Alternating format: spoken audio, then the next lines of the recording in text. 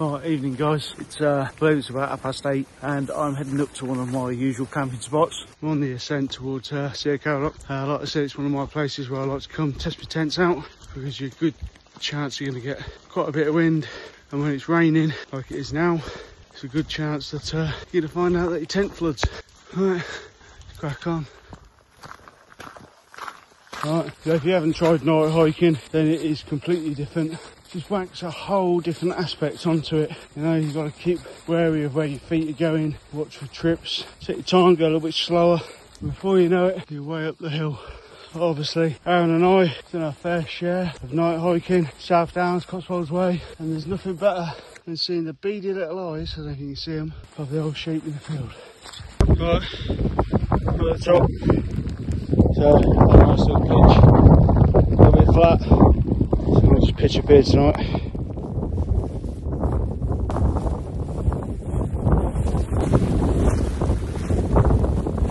Right.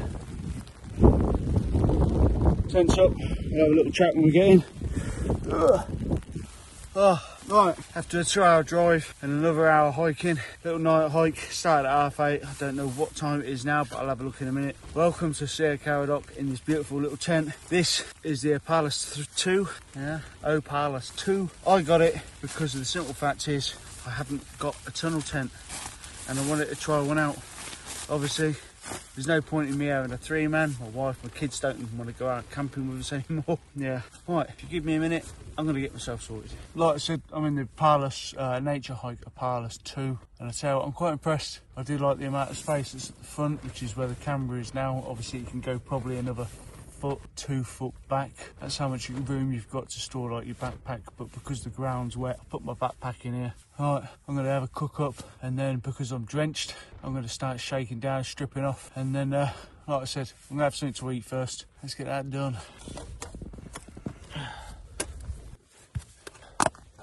Today I'm using the Micro Mo.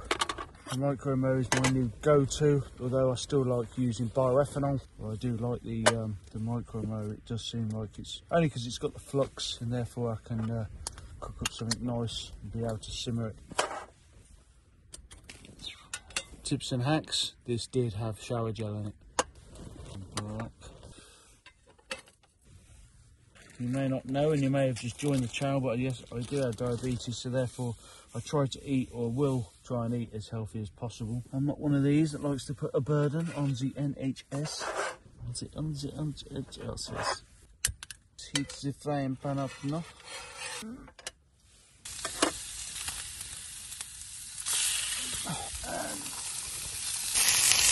This is a camper can't eat healthily, eh?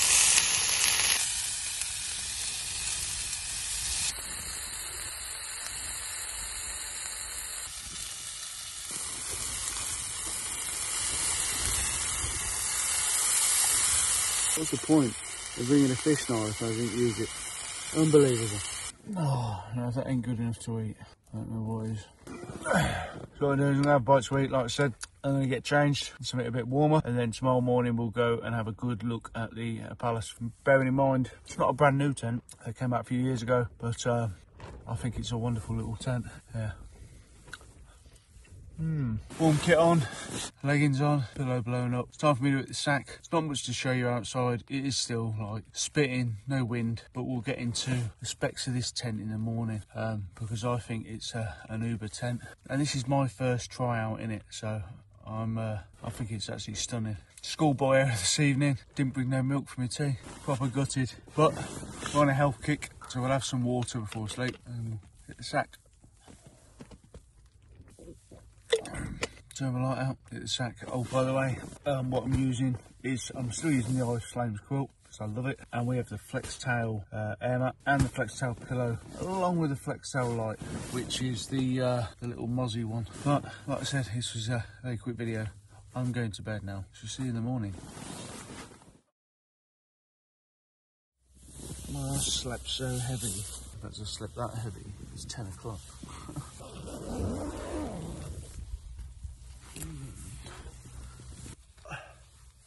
Well, it's nice to see the sheep out.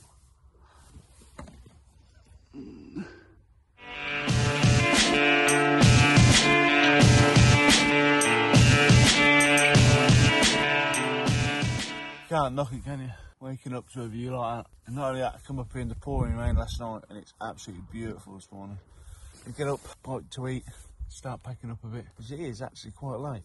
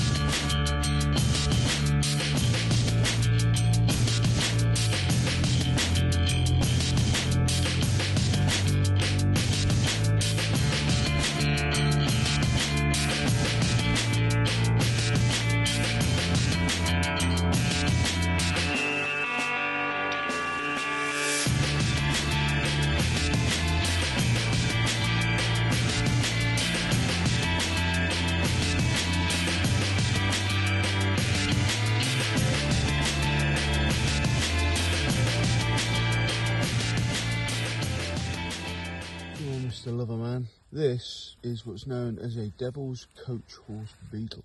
Come here. Taking uh, refuge in my tent last night. Look at that. Looks like a little beast, doesn't he? Tail up. What's going on there? We had some salmon again this morning because I had two very big lumps last night and I thought I'd save one for this morning. That wasn't the plan, but it is the plan now. Like I said, it's all about trying to eat more healthily now. Let's just get that cooked up. I'll have an egg as well with that. I'll just wait until this is a little bit more cooked before I shove my egg in there. 100% though, I can say that I love this nature holiday tent. For one person, I, I believe it's 2.4 kilograms. And for one person, well it is for two people, but for one person, this is especially comfortable. You could fit two in here quite easily, but why would you when you can just have yourself and relax with no one else? I'm a solo camper and that's the way I like it.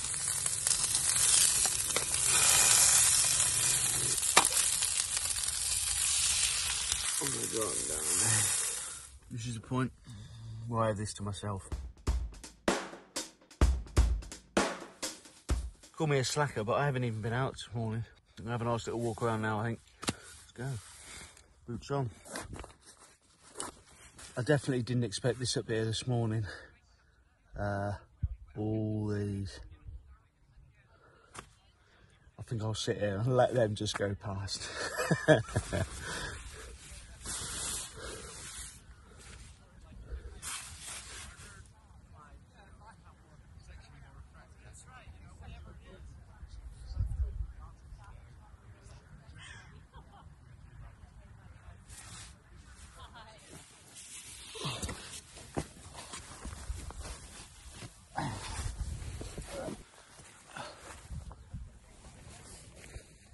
So the people that just went past, they're actually, uh, I think that's like a historian group or a historian hiking group. It's nice to see that kind of thing, to be honest.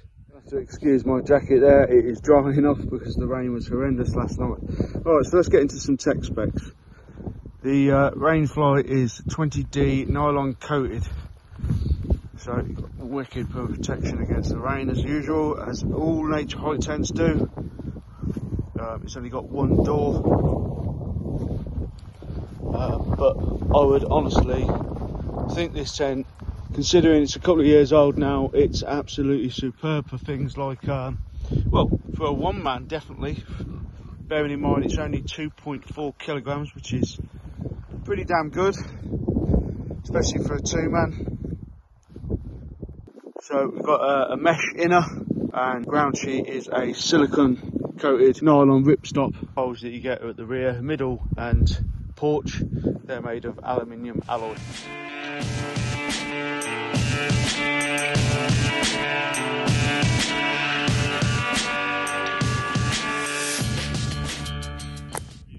Funny as a diabetic. Bit of hummus, bit of celery. Perfect for you diabetics. And me. Actually, Messner, you've said that you've got like health issues. So this could be your way forward. Stay off the clacky and the pop.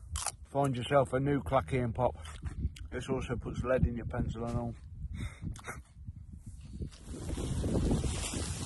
Why is it the worst bit about packing up your tent? Is this bit, especially in the winter. Right, That's me all packed up, or nearly all packed up. I hate, especially when it's bad weather, doing this. But man, I do love this nature hike tent. It is awesome. Um, like I said, it's an old one, but definitely I'd say it's definitely worth a buy, especially if you're a single lad wanting to go on a trek and you want plenty of room in your tent. Let's get it in its bag.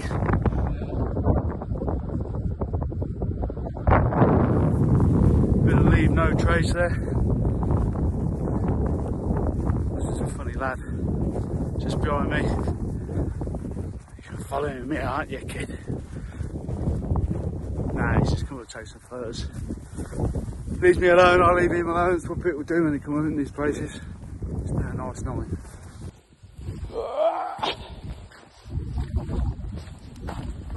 I'm to come up here with uh, with Aaron in a couple of days, or a week or so.